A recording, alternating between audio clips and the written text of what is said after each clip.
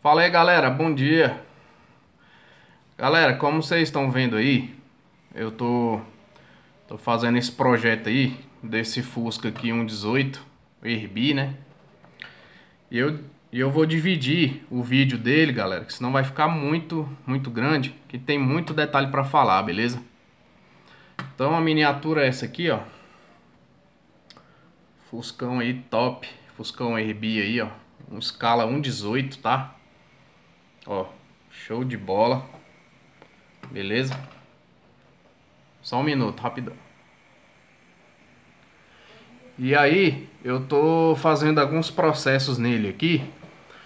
Que eu vou estar tá falando pra vocês aí, beleza? Então, a miniatura é essa aqui. Já tá toda desmontada.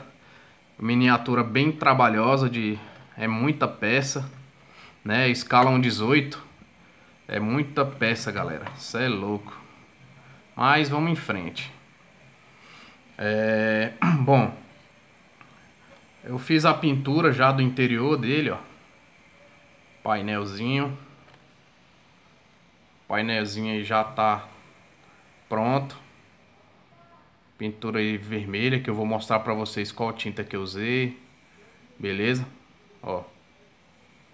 Pinturinhazinha top aí.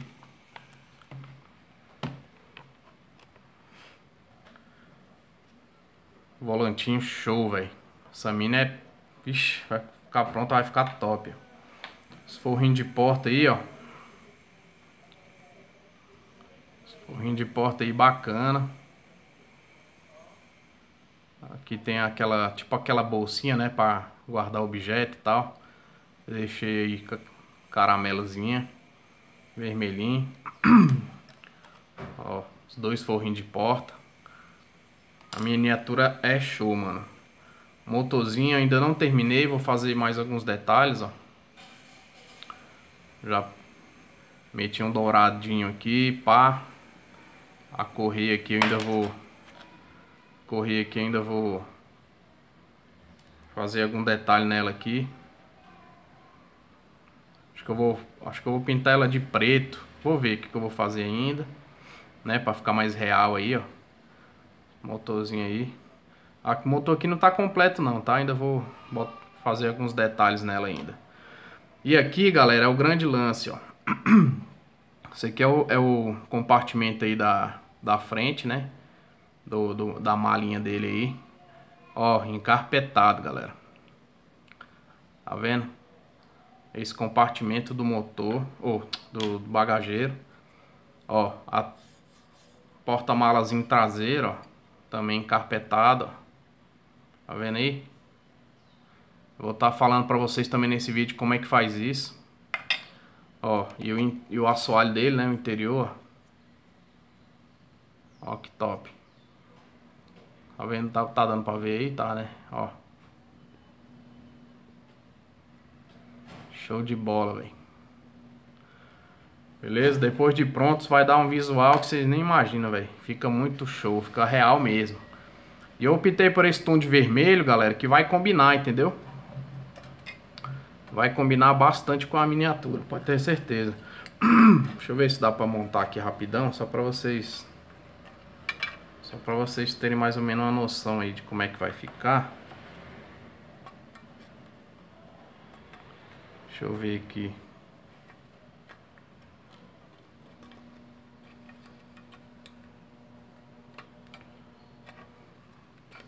Não vai dar pra ver direito não, mas olha só. Aí, ó. Mais ou menos isso aí, tá vendo? Cara, depois de pronto, ixi, aí no, no outro vídeo eu vou fazer o vídeo já finalizando alguns detalhes e o vídeo dele pronto já, beleza? Essa miniatura é bem trabalhosa, velho. Tem muita coisa pra fazer. E eu quero deixar ela top mesmo. Então é isso aí. Bom, a tinta que eu usei pra pintar pintar aqui as partes vermelhas foi essa aqui, né? A arte urbana da Color Gin. Vermelho mala, Malagu. Malagu, eu acho. Tá vendo aqui, ó? Malagu. Não sei se aqui falta alguma letra nessa etiqueta aqui, mas acho que é isso. Malagu, sei lá. Beleza, galera?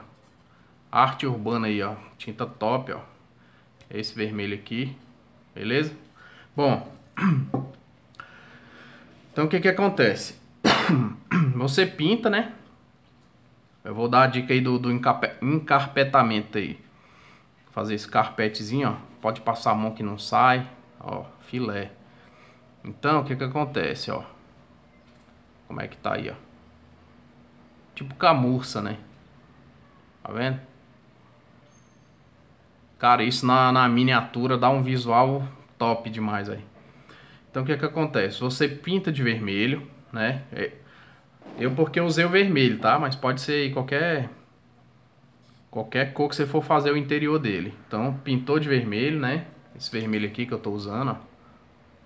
Arte urbana. Esperou secar, beleza? Aí o que que acontece? Você vai jogar um verniz. Eu usei esse daqui, ó. Esse verniz fixador, brilhante, tá? Cor fix aí. Mas o verniz é o de menos. Pode ser qualquer verniz, tá, galera? Isso aí não... Isso aí não vai influenciar em nada, não. Então, beleza. Pintou, jogou o verniz em cima.